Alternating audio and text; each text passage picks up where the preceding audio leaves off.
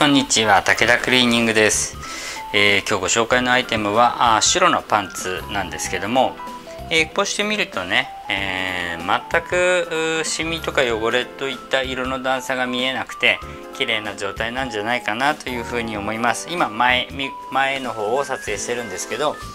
後ろお尻の方ね撮影しても同じように真っ白なんですよ。そうなんです。えー、じゃあですね今あライトを当ててるんですけどもそのライトを一回消しますはい消しましたでカメラがですね自動で、えー、露出を合わせたのでこれがライトをつけてない状態なんですけど、えー、全くね、え真っ暗なところで撮影してるわけじゃなくて今昼間なので、え外からの明かりがあってあとはその室内の室内のライトもついてる状態なんですが、まあ、この状態で撮影してもね、え全くその色の段差というのはない状態なんですね。それでは次にですね、えー、こちらお客様からあお客様がわざわざですねお洋服と一緒に一緒に入れて送ってくださったんですよ。UV ライトブラックライトですね。そのブラックライトをこうお洋服に当てますとですねこれが見えますか？このように光ってるところ。これが全部色ムラです。本来であればこんな風にムラムラになってないはずなんですよ。これがですねもうお洋服全体にあります。ほらこういうところ。かなり色の段差が出ますよね。これ屋外で着用なさって、まあ、光の当たる角度とかによってはですねすごく外でもこの色ムラが目立ちますねきっと。こんな風にムラムラムラになってます。今これ前身頃撮影してるんですけどこれねあの後ろ身頃にも同じぐらいすごいムラになってます。ほらこんなところすごいでしょ。これね、あのー、今回そのお客様が UV ライトを送ってくださってこんな風に動画を撮影しているのをきっかけにしてね私も UV ライト1本買っておこうと思いました。蛍光剤の取ってほしいという風なね、えー、お問い合わせ結構あるんですよ。でこれはねシミとか汚れじゃなくて蛍光剤で染まっちゃってるんですね。で蛍光剤が入ってるっていう風に洗剤に書いてあるんであればあこれ使うの予想とかっていう風に分かりやすいんですけど実はこれなんでこんな風になったかっていうと、えー、使ったのがですね歌丸石鹸なんですよ。そう歌丸石鹸って固形石鹸では一番有名な石鹸でどこにでも売っていて使ったことある人多いんじゃないですかね。非常に使い勝手が良くていい石鹸なんですよ。いい石鹸だからこそ売れるわけだし使ってる人が多いわけなんですけどその歌丸石鹸にはですね蛍光剤が入ってるんですよ。サイトで調べていただくと分かるし多分歌丸石鹸私今持ってないからあ分かんないんですけどそのパッケージにもねもしかしたらあ成分に蛍光剤って入ってるのかな？蛍光増白剤って入ってるのかもしれない。今後ろ撮影してます。で綺麗にしようと思ってね丁寧に洗ったと思うんですよ。その石鹸でね汚れてるところをこすってっていう風にして洗ったと思うんですがでもこんな風にね、えー、色ムラになってしまったと。結果的に使わない方が良かった残念だというふうながっかりした結果になってしまったと思うんですね。で、え、これはですねもう例えば汗じみが酸化して黄ばんでしまったものを染み抜きするような当店の事例で最も多い黄ばみ系の染み抜きのような作業内容では一切も取れない染みで染みというかあ色の段差でございましてえー、白系のもののご相談がダントツ多いんですけど白無地の綿素材白無地の綿素材なので、えー、かなり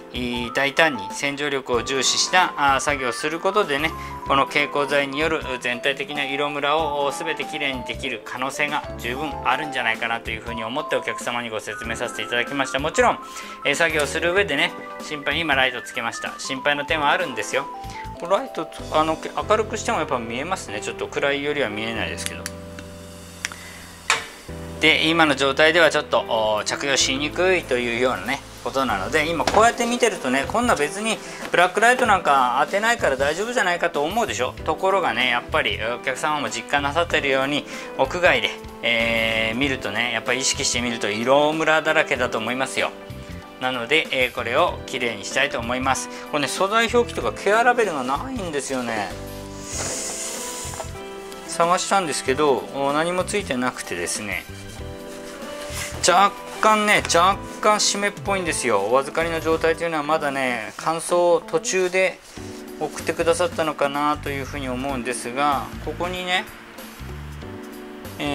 英語で、えー、こんな風に書いてはあるんですが素材が何でできていてとかあと洗濯表示がついているわけではないんですね。でも触った感じはこう綿ですね。綿だと思います。白無地の綿素材で、えー、ジーンズみたいなレザーのパッチがついているとかあそういったものが一切ない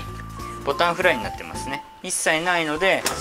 これはね、えー、いけんじゃないかなと。ただ蛍光剤配合の洗剤で洗ってしまうとですね均一に蛍光剤がついてムラムラにならないので蛍光剤がついてることすら気づかないっていうふうなことがあるんですよ。でたまにねそれでも若干ムラになってしまったとか気づいてご依頼あることがあるんですがこれは完全に石鹸でこうゴシゴシやったところのについているので全体をこすったと思うんですがそれでついているというふうなことなのでね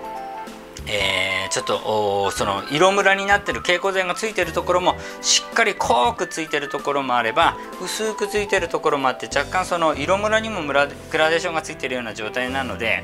ちょっとね、えー、厄介だなというふうに思うんですがもう部分的な染み抜きでは対応できないこんなに全体的に色ムラになっているので、えー、全体処理でなんとかね、えー、全てきれいにしたいと思います。アフターの状態でもね先ほどの状態と同じようにねライトをこう通常のこのお部屋のえー、撮影台のライトを消してブラックライトを当ててアフターの状態をお見せしたいと思います。はい。それではね仕上がり、えー、いかがでしょうか。見ていただきたいと思います。えー、っとライトを当てたところにですねムラムラになっていたところ。ムラムラになっていたところ。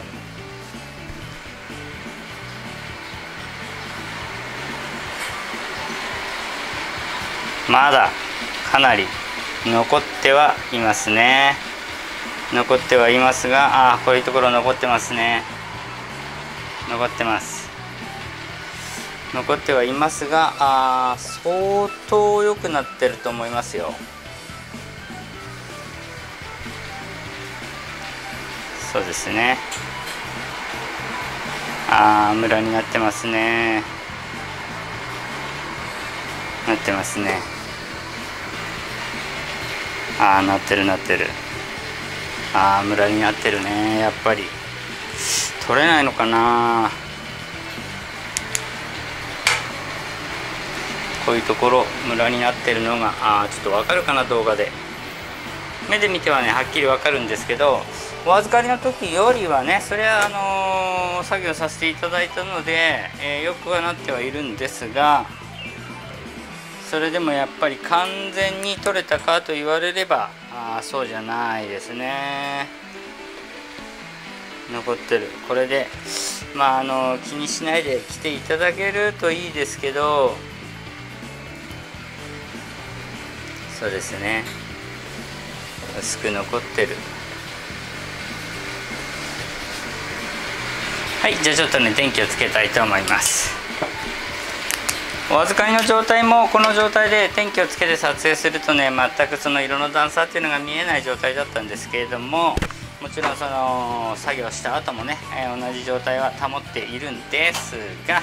ブラックライトを当てた時にですねちょっと色ムラが残ってる状態っていうのはあやっぱりありますね。こうして、えー、明るいところでブラックライト当てても分かんないんですけどパッと消すとねまあそれでもだいぶよくはなってるんですが、まあ、意識してみるとこの辺ねムラやっぱりムラありますね。少しだけね。ありますね。これは厄介ですね。えー、もっときついことしなくちゃなんないのかな。もう正直ねえー、お薬代だけでそのこの蛍光剤を取るお薬代だけでえー、もううちに入る値段でも5000を超えてます、えー、原材料というかお薬代だけ、えー、まあ、手間手間私の手間代含まずに5000は超えているので相当高いお薬をものすごい量使って、え、何回も何回も繰り返し作業させていただいてこの状態なんですよね。きついなあまあどんなに手間がかかってもどんなに薬代がかかってもですね綺麗になってお渡しできることの方が明らかにいいんですがもうね晩作尽きたっていう風な感じですね、まあ、この状態で、えー、気にせずに来ていただけるんじゃないかなという淡い期待とともにですねやっぱり完全に取れなかったという悔しさがあってちょっと見積もりした金額はもらえないですけどもでもまあこれでね一旦お渡ししたいと思います。蛍光剤気をつけなくちゃダメですね。ご利用ありがとうございます。実はね、えー、ご利用ありがとうございますって言ってから喋ってるんですけど実はあ蛍光剤の染み抜き蛍光剤の除去っていうのは何回もやってるんですよ。でね何回もやっていて、えー、ブラックライトブラックライトで確認したのが今回初めてなんですよ。お客様がブラックライトを送ってくれたので、え、それで確認することができた。でも今まではそのブラックライトなしでも十分見えたんですよね。その蛍光剤がついているところ色の段差っていうのが見えた。でも今回は見えなかった、えー、だからブラックライトで確認した。そうするとですねやっぱりアフターの状態でも確認できると。今回ね Amazon で私ブラックライト買いましたもん。UV ライト。えー、まあ、1000円ぐらいですけどお安かったので、えー、まあ、持っておこうというふうなことで買ってね見たんですが今までももしかしたら薄く残ってたのかもしれないななんていうふうに思ってますね。でもね、えー、今回ほど苦労してやったのは初めてだな。初めてです。はい。えー、こんな感じで、えー、作業させていただきました。あいろいろねシミ抜きビフォーアフターだけ見ると簡単そうに思うかもしれないんですが実はあかなり見えないところで、えー、難儀をしてる感じなんですよ。まああのー、ほらあなんだっけシンクロシンクロってシンクロナイズドスイミングってこう水水上ではなんかニコニコしてるけどこう水面下ではかなりこうもがき苦しんでいる頑張って動いてるという風な状態なんですけどまあそれに近いものがあるかなというふうに思いますね。はいご利用ありがとうございます。武田クリーニングでした。